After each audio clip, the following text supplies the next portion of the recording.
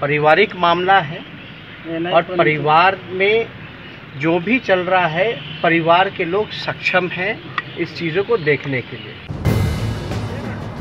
रांची के रिम्स में पिता का हाल जानने जब तेजस्वी पहुँचे तो कुछ इस अंदाज में तेज प्रताप पर पूछे गए सवाल का जवाब दिया।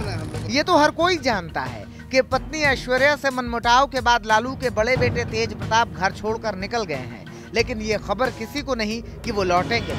तीन नवंबर को तेज प्रताप अपने पिता लालू का हाल जानने रिम्स आए थे। लेकिन फ़िलहाल उनका पता ठिकाना ठीक से किसी को मालूम नहीं।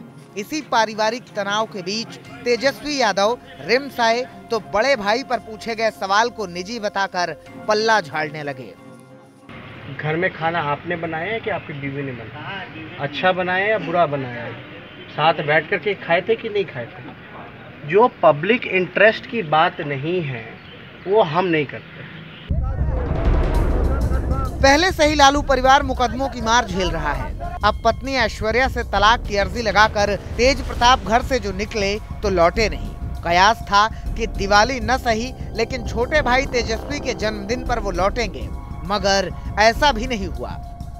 वैसे लालू ने तलाक के मुद्दे पर तेज प्रताप को इंतज़ार करने की सलाह दी थी। मगर उनकी भी सलाह नहीं मानी गई। इस वजह से लालू बेहद तनाव में है। डॉक्टरों की माने तो वो एक साथ पाँच से छह घंटे की नींद न लेकर टुकड़ों में इसे पूरा कर रहे हैं। उन्हें चौदह से पंद्रह किस्म की दवाइयाँ दी जा रही हैं। इंसुलिन की मात्रा भी बढ़ाई गई है। ज़ाहिर है कि लालू की खराब सेहत, कानूनी पचड़ों, पार्टी का जिम्मा और अब तेज प्रताप की वजह से उपजे तनाव को अकेले तेजस्वी झेल रहे हैं। इस बीच चुनावी गहमा गहमी भी बढ़ गई है। तेजस्वी को इन सब के बीच तालमेल बिठाने में दिक्कतें आना लाजमी है।